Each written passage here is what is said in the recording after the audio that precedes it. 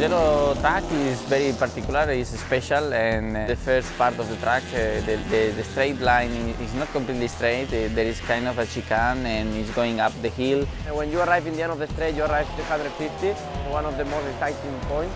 It's a very difficult break point because you arrive so fast, a little bit downhill.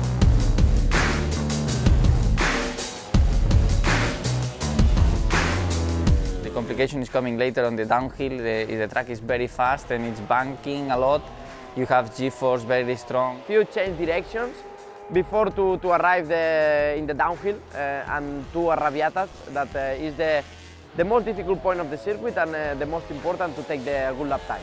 And I would say also that the last corner is the, one of the most uh, nice corners here. It's, it's a very wide last, last turn to the straight line.